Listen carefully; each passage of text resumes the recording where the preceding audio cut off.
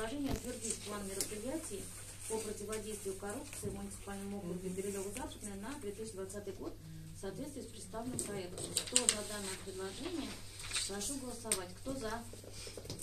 Кто против? Кто воздержался? Решение принято единогласно.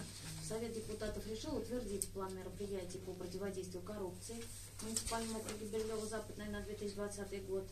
А утвердить настоящее решение в бюллетене «Московский муниципальный вестник», разместить на официальном сайте сети интернет, контроль за выполнением настоящего решения возложить на главу муниципального округа Бирюлево-Западное Лерикову Елену Сергеевну. Спасибо. Переходим к четвертому вопросу. У нас с вами вопрос о рассмотрении концепции благоустройства озеленения территории сквера школьной по улице Медынской. Пожалуйста, Ольга Львовна.